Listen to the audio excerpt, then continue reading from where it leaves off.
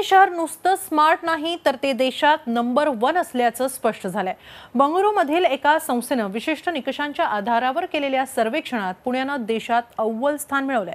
पुणेकरांसाठी ही अभिमानाची बाब असली तरी हे असं कसं शक्य आहे हा प्रश्न देखील त्यांच्या मनात या निमित्तानं उभा राहतोय. रस्त्यांवर होणारी वाहतूक कोंडी.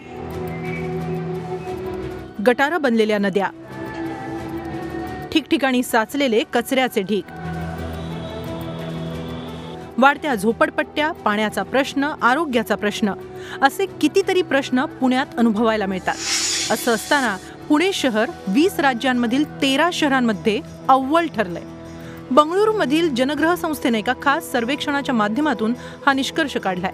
शहरातील दैनंदिन प्रश्नांऐवजी विकास प्रक्रियेशी संबंधित निकषांच्या आधारे हे मूल्यांकन करण्यात आलंय. आणि तेच पुणे पहिल्या क्रमांकावर येण्याचं कारण आहे.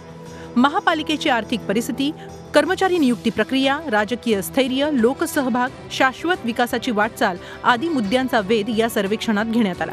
त्यात पुण्यानं देशातील इतर शहरांना मागे टाकलंय. शहरामधल्या ज्या बेसिक ॲम्युनिटीज आहेत किंवा बेसिक सुविधा आहेत त्यामध्ये पाणीपुरवठा असेल किंवा ड्रेनेजची व्यवस्था असेल या सुविधांमध्ये इतर शहरांच्यापेक्षा पुणे शहर हे अव्वलस्थानी आलेलं आहे. आणि म्हणून मला असं वाटतं की पुणे शहर हे एका सर्टन लेवलला या देशामध्ये गेलेलं आहे. पाच अग्रगण्य शहरांमध्ये पुणे शहराला पाच पूर्णांक एक गुण मिळाले आहेत.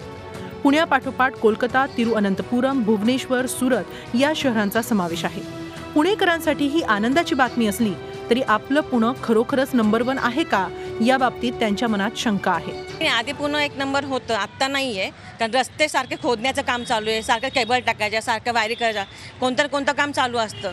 शिवाय पण रस्त्याच्या कचरा कुंड्यांचा कचऱ्याचा प्रश्न संपलेला नाही. सारखा कचरा कुंड्यांना कचरा उचलल्यात पण कचरा सारखा सारखा कुठं ना कुठं पडलेला असतो. आणि शिवाय ते स्पीड ब्रेकर इतके मोठमोठे केलेत की त्यांना माणूस उडून दुसरीकडे जाईल. इतके स्पीड ब्रेकर मोठमोठे केलेत. त्याकरता पण तुम्ही पाहिलं पाहिजे ना की नंबर वन होण्याकरता या गोष्टी पाहिल्या पाहिजेत. या गोष्टी जोपर्यंत नीट होत नाही तोपर्यंत नंबर वन पुणे काही होणार नाही. वेळच्या वेळी कचरा गेला वेळच्या वेळी घाण सगळी साफ झाली तर स्वच्छ होऊ शकतं. पण तीन तीन दिवस जवळजवळ कचरा पडलेला असतो काही काही ठिकाणी. तो म्हणजे ते घाणीच्या दुर्गंधीने नको नको होतो अक्षरशः. म्हणजे सांगावं लागतं की आता कचरा उचला सामान्य नागरिकांच्या प्रतिक्रिया स्वाभाविक म्हणाव्या अशाच आहेत. कारण महापालिकेचं पतमानांकन लोकसहभाग राजकीय स्थैर्य या गोष्टी महत्त्वाच्या आहेतच पण त्याहूनही महत्त्वाचे जनतेचे प्रश्न आहेत.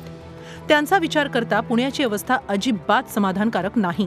त्यामुळे जनग्रह संस्थेनं दिलेल्या मानांकनामुळे हुरळून जाण्याचं कारण नाही अशी अपेक्षा पुण्यातील सामाजिक संस्था व्यक्त करतायत. सार्वजनिक वाहतूक व्यवस्था पुण्यातली जवळपास कोलमडल्यात जमा आहे आणि त्यामुळे पुण्यातलं प्रदूषण अपघात यांची संख्या मोठ्या प्रमाणावर वाढते आहे त्यामुळे सार्वजनिक वाहतूक व्यवस्थेवर पण लक्ष देणं ही पुण्याची आजची खरी गरज आहे.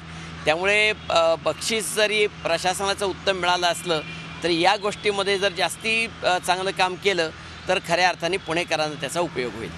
शहरातील रस्ते वाहतूक व्यवस्था कचरा व्यवस्थापन सांडपाणी व्यवस्थापन प्रदूषण गृहनिर्माण या मुद्द्यांचा सर्वेक्षणात विचार करण्यात आलेला नाही. त्यांचा समावेश सर्वेक्षणात असता तर पुणे कितव्या क्रमांकावर राहिलं असतं याची कल्पनाच न केलेली बरी.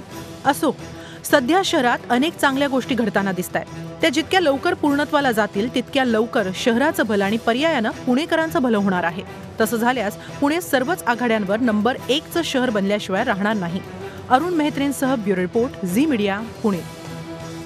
Zee चोवीस तास. रहा एक पाऊल पुढे.